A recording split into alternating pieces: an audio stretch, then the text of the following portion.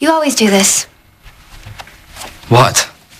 Just when I think you're a complete rat, you say something nice and sweet. You're my sister. I love you. And I love you too. It's just sometimes I really, really don't like you. Hmm. Fair enough. It's just really hard. Being a Chandler, Yeah. it's not an easy name to live up to. You think we'd have it figured out by now? Maybe when we stop fighting who we are. Because this house, this family, the company, that is our legacy. It's in our blood, and we have to accept that. We have to accept who we are and what we have to fight for. You and me together, kid.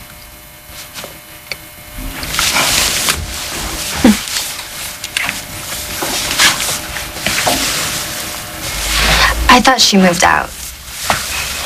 There's an explanation The for this. explanation is I was right again.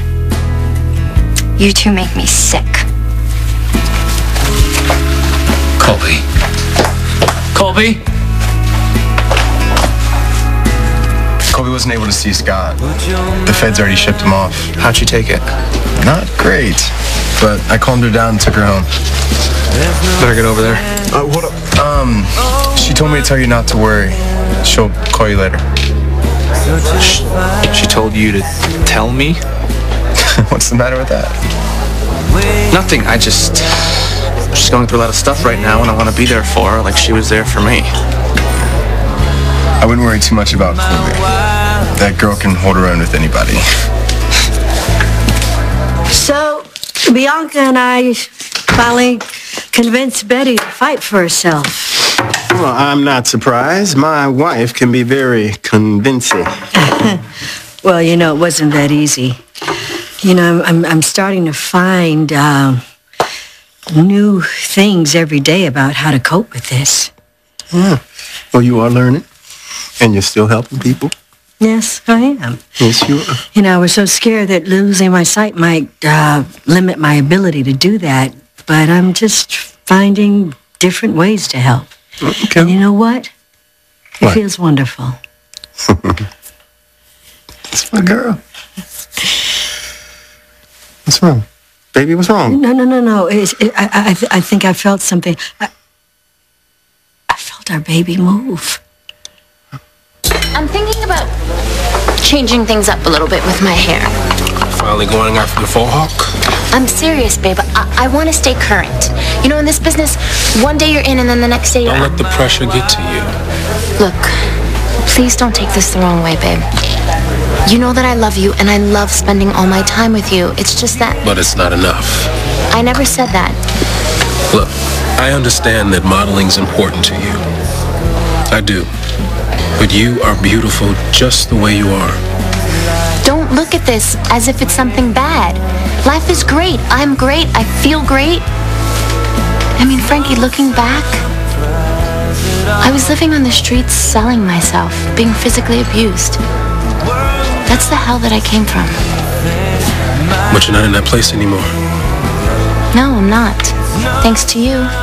Thanks to you that I'm a new woman in a new life. I'm finally proud of myself and I'm so proud of everything that I'm accomplishing. It's about getting a second chance. It's about where I came from and now where I can go. I need to push this to see how far I can get. And I hope that you understand that. Looks like I got a ambitious wife on my hands. Can you handle it? Yeah, I can handle it. Oh. It's a hospital. I should take this, but you are beautiful. You got that? Yes, sir.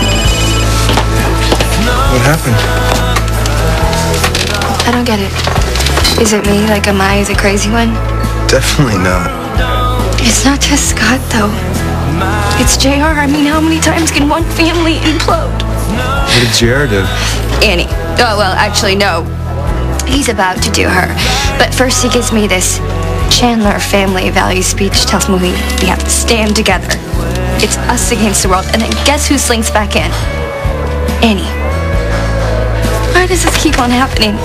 It's not just a guy thing, it's something more than that because if Scott was stealing business secrets from a dead man, then. You'd be surprised what people are capable of. Well, you don't understand, JR. My cousin is a really, really good guy. He wouldn't do something like that. My Uncle Stuart, he even made him this hat that said, one of the good guys. It's a little weird.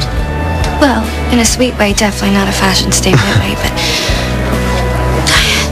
I just don't understand why Scott would commit a crime like that.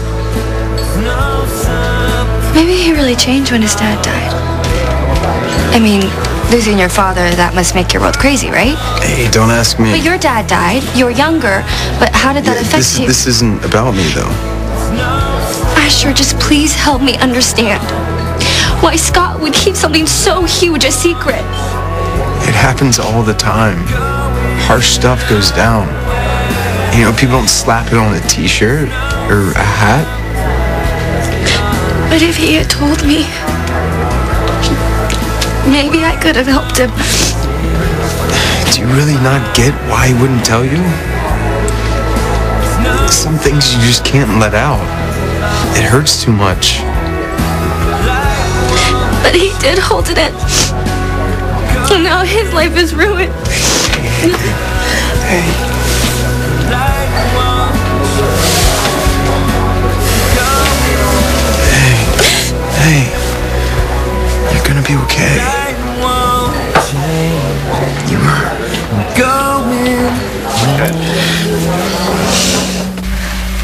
didn't you stay upstairs until I came and got you?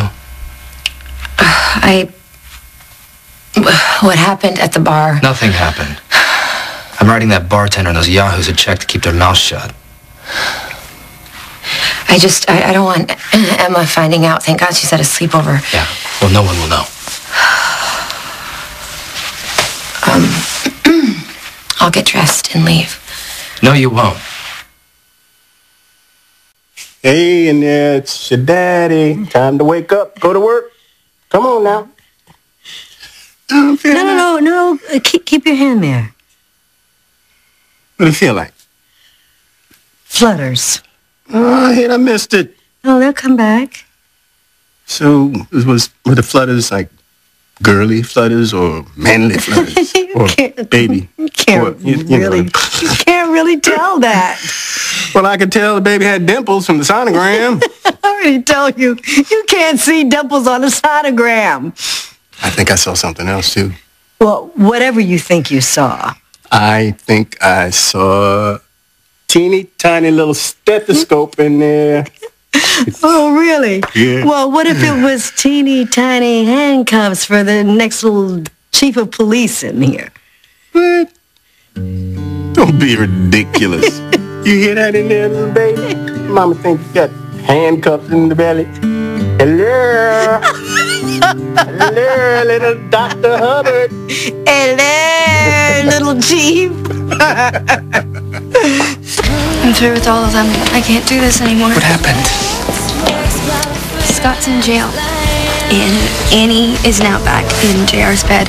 And I'm supposed to be like the cheerleader of the family, keeping everything together. But I can't do it. I can't. I just can't do this anymore. Hey, just don't forget, you didn't screw up. They did. But I bet you're the only one getting all twisted up about it. What do you know about her family, man? well, I know that you can't fix other people, family or otherwise. Just remember, you need to. Stay strong and be better than them. So you were listening. Good. Hey, I got my shift covered. Wanna get out of here? Yeah, please, let's go.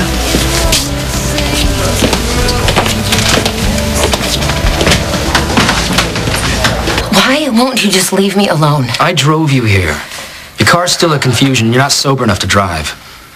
I'll take a cab. And then where will you? I, I will figure something out. Oh, yeah, this time of night, half drunk? You can stay. No, I have a ton of guest rooms here just for tonight. it's too close. The gatehouse, then.